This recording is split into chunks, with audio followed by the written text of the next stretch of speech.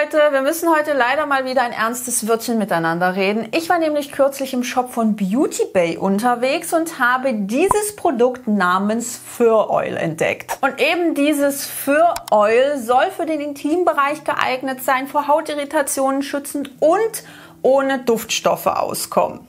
Ich habe ja bereits ein Video zum Thema Intimpflege gemacht und ausführlich darüber gesprochen, dass Gynäkologen und Gynäkologinnen davon abraten, parfümierte Produkte im Intimbereich zu verwenden, weil dieser einfach super empfindlich ist und somit anfällig für Irritationen oder eben auch allergische Reaktionen. Falls ihr euch diese Infos nochmal in Erinnerung rufen möchtet, ich verlinke euch das Video hier oben in dem i und auch nochmal unten in der Infobox.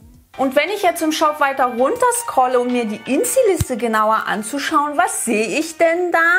Duftstofffrei ist dieses Produkt nämlich gar nicht. Ich habe mal spaßeshalber alles markiert, was irgendwie mit Duftstoffen zu tun hat und wie man sieht, bleibt nicht mehr so viel übrig.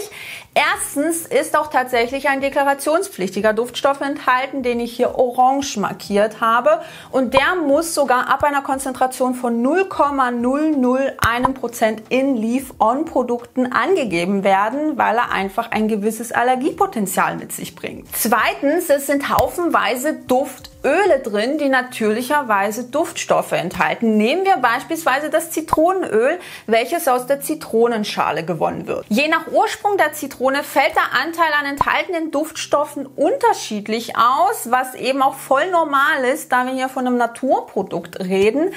Aber nichtsdestotrotz sind halt Duftstoffe enthalten. Selbiges trifft auch beispielsweise auf das enthaltene Pfefferminzöl oder das Zitronengrasöl zu. Diese Öle enthalten einfach natürlicherweise Duftstoffe. Und gerade darauf sollte vor allem im Intimbereich verzichtet werden. Ich persönlich würde diese Ölmischung nicht mal im Gesicht benutzen. Ehrlich gesagt finde ich das mehr als irreführend, unfair gegenüber der Kundschaft und mich persönlich macht das auch extrem wütend, weil ich selbst Probleme mit Duftstoffen habe. Also wenn ich ein Produkt verwende, das bestimmte Duftstoffkomponenten enthält, dann rastet meine Haut komplett aus und ich kriege Pusteln im Gesicht, die Wochen wochenlang brauchen, um abzuheilen und die ich auch medikamentös behandeln muss. Und selbst wenn man von den ganzen ätherischen Ölen im Produkt hinweg sieht, ist dennoch ein deklarationspflichtiger Duftstoff enthalten und somit ist dieses Fur Oil einfach nicht duftstofffrei.